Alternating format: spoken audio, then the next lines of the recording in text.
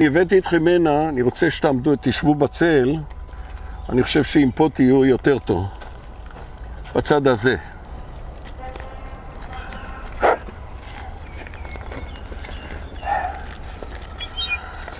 אני לא אתן פה הרצאה על כל מלחמת הקוממיות, אני רק אציין שהמהלך הקרבי הראשון שחטיבה 8 עושה, חטיבה 8 עושה, הוא במסגרת מבצע שקראו לו מבצע דני.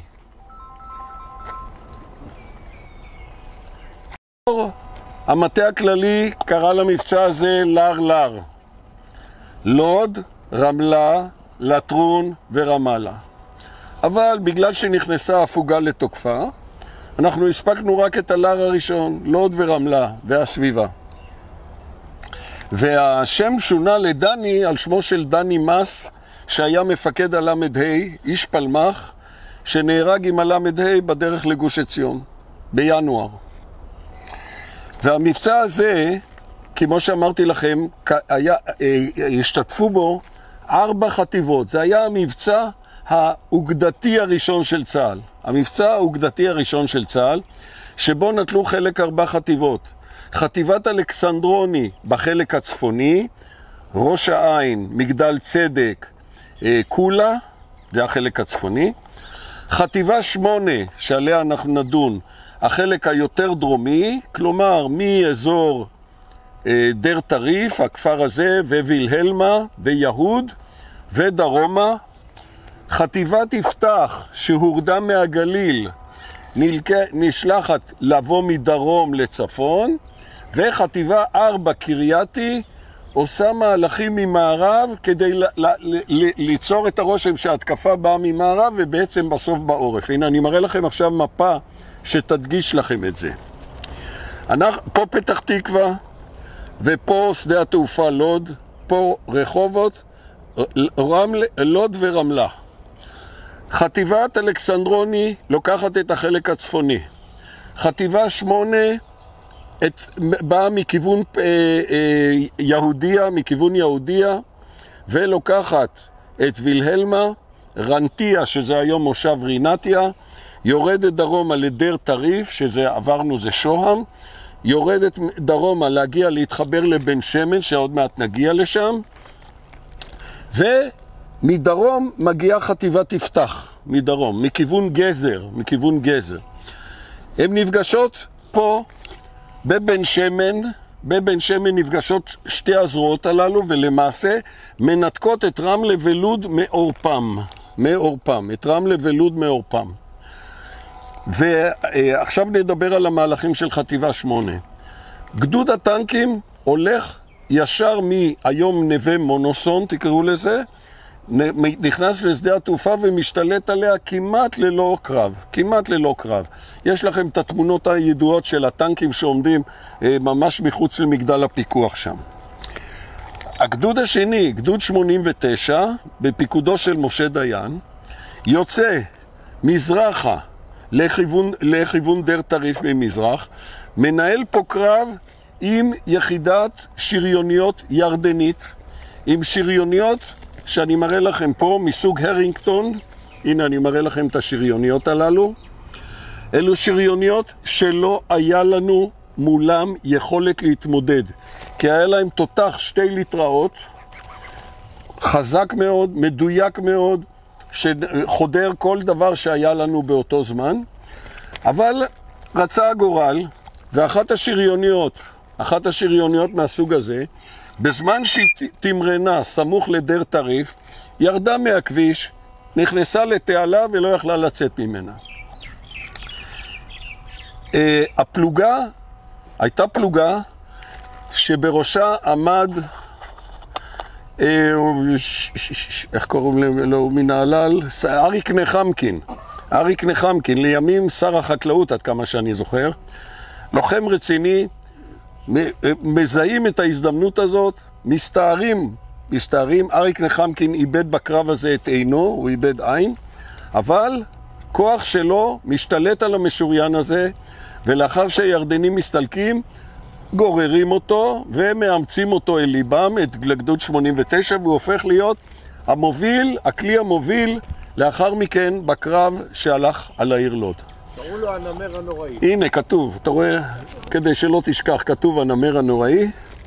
ומגיעים לכאן, וכאן, במקום הזה, כשאחרי שהם מגיעים לכאן ומשתלטים גם על מחנה בית נבלה, אז בקשר שומע משה דיין את ההודעה של, של מפקד הגדוד של יפתח, ניסיתי להיכנס ואני מחפש, צריך עזרה, כי אני לא מצליח להיכנס ללוד, ללוד ממזרח. את המשך הסיפור אני אספר לכם ליד המשטרה. אבל, אתם נמצאים פה ליד אנדרטה, שימו לב לזה. יש פה 13 חללים, כולם מאנשי חיש בתל אביב. עכשיו תסתכלו על התאריך, רבותיי, בבקשה. אני אתן לך כישורים, אני אעביר לך ברשת, אתה אל תצלם מזה, אלא אם כן, אה, מה שאתה רוצה. שימו לב, 14 לדצמבר 47, אנחנו נמצאים שבועיים אחרי, פחות או יותר, החלטה באו"ם על החלוקה.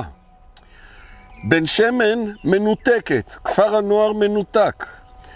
וכדי להביא אספקה, הייתה, אי אפשר לעבור דרך לוד בדרך ממזרח, ממערב, הדרך הנוחה, ולכן הוחלט לארגן שיירה שיצאה מתל אביב, מבית הספר ביאליק, עם אנשי הגנה מתל אביב, אלה היו חבר'ה ככה שהיו מהפלוגה של ברית מכבים עתיד, זה היה ספורטאים, ספורטאים רציניים.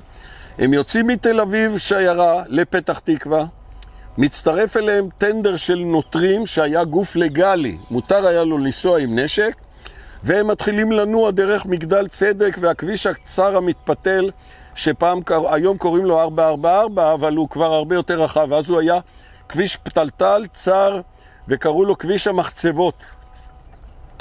והם מותקפים בדרך, אבל מצליחים לעבור את כל הקטע הזה עד, עד שהם מגיעים סמוך למחנה כאן, ללא נפגעים, אם כי המכוניות נפגעו בכמה חורים, אבל פה הם, הם מאוד מרגישים שמחים. סיפר לי מי שהיה מ"כ בשיירה הזאת, שקראו לו, אתם מכירים את שמו? גדעון שמר, הלך לעולמו, השחקן, בעלה הראשון של נעמי שמר. הוא היה מ"כ, הוא סיפר איך הם נוסעים, מותקפים, יורדים, משיבים אש, ממשיכים הלאה, ואז הוא אומר, אמרנו לעצמנו, נגיע למחנה בית נבלה, יהיה לנו שקט. למה? כי בבית נבלה היה, הייתה יחידה אמנם של הליגיון, או נקרא לזה חיל הספר, אבל הפיקוד הוא בריטי. אבל אנחנו כשמתקרבים, אנחנו שומעים אזעקה, ואנחנו רואים את החיילים יורדים. גם פה היה מחנה, לא רק שם. יורדים, רצים עם מקלעי הברן שלהם, עם המחסניות שבולטות, מחסנית של ברן בולטת, ונשכבים ליד הכביש ומתחילים לירות עלינו אש תופת. ואז ניתנה הוראה להתקדם כמה שיותר מהר, והמפקד השיירה, שקראו לו אברהם, רגע, תזוזי רגע, שכחתי את שמו, אברהם ברעם, אתם רואים? שהיה כבר אב לילד והיה, למד הנדסה בטכניון וכולי, הוא היה, אני חושב, כבר בן 28, נותן הוראה, כולם לנסוע לבן שמן ואימא, אבל זה לא עזר, כי מסע, אה, מכונית עם אה, נוסעים, יחד עם משאית שהובילה אספקה, נתקעו, ואתם רואים את 15 החללים שהיו פה. אה, מכונית אחת נתקעה בשער של המחנה שם, ליד הש"ג, ומה שהציל, מי שנסע במכונית הזו, היה השלם, הגזבר של בן שמן, שהיה לו תיק עם כל המשכורות שהוא היה צריך לשלם לעובדים שמה, וסיפרו לי שכשירו, הוא לקח את התיק ושם ככה על, להגן על הראש שלו, וזה, וזה, וזה הציל את חייו. התיק הזה שעם הכסף הציל את חייו. אז בסופו של דבר, 15 אה, מבין כמעט 32 חבר'ה שהיו בזה, 15 נהרגו, וסיפר לי אותו גדעון שמר שהתאספנו למסדר בבן שמן לראות מי חי ומי מת, והופתענו לראות כל כך כל כך הרבה חסרים.